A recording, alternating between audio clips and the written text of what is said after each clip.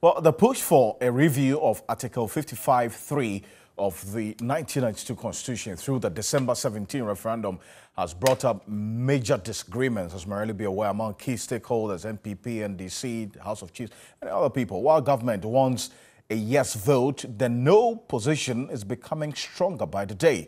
But is there a possibility of a withdrawal or a postponement under the circumstances? Here's a News Desk report. The controversy started with the divided front of the National House of Chiefs over a yes or no vote. The president, Togbe Afede the 14th, and his vice, Daasebre Nana Kwebu Ewusi the 7th for no, and the paramount chief of Sefwi Anhwiaso traditional area, Ogyeahohoo Yaw Gyebi the 2nd, and Okyenhene Osagyefuo Amoatia Ofori Panin for the yes vote. But government is of the view the chiefs are only worried about a reduction of their influence. Nowhere have they said that um, it should be no or they don't support what we are doing. What mm. they are trying to do, one, is to find out the role they can play. Two, find out whether they can convince us that they should have a more enhanced role, like what was rejected at the, at the Consultative Assembly. Consultative Assembly. Yeah. They want to find out whether they can still bring back some of the issues they raised. But all these things, we need to talk. Following from that, there have been several other positions of either yes or no from civil society groups and the Christian Council.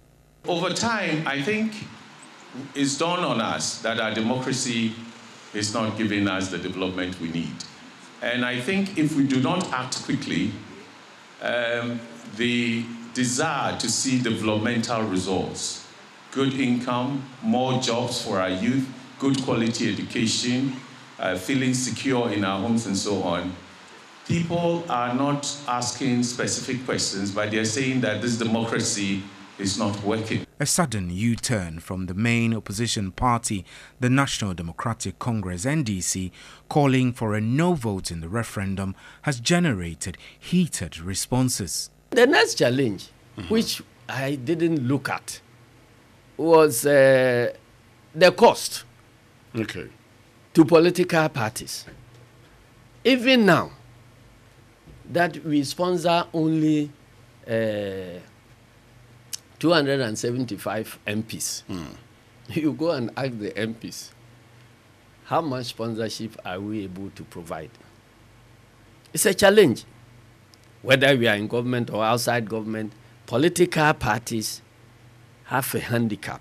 However, the government holds the view that if stakeholders recommend a postponement or withdrawal and the president sees wisdom in it, he might go ahead with that advice.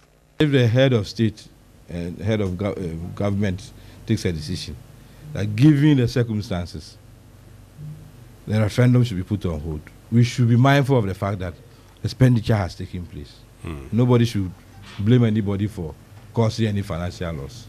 Mm. Because positions were taken and assurances were given and no objections have been raised until now. And if thinks that, oh, if House of Chiefs, there appears to still be some differences. Oh, GJ, what do you think?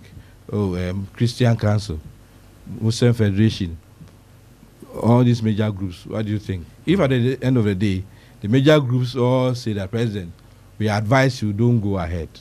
The president comes to broadcast to the whole world that after consultations with these groups, they've advised that we should hold on. We will all follow. The ruling New Patriotic Party NPP has been making overtures at the NDC saying the party is acting in bad faith. All the political parties, civil society groups, the media and the general public all appear surprised, confused and even hoodwinked by the NDC abrupt U-turn last Tuesday. The only thing that can explain the NDC unexpected U-turn is that they are fully aware of the difficult task of getting the amendment through without a consensus.